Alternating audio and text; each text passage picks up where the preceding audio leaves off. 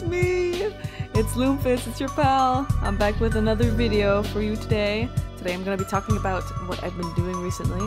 I've opened an Etsy shop and you're not gonna believe what's on there. Products. Yeah, that's right.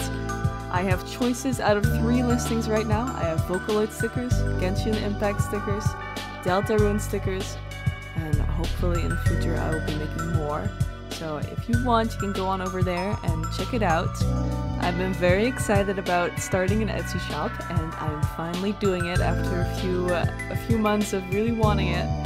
So um, thank you for all the support I've had so far.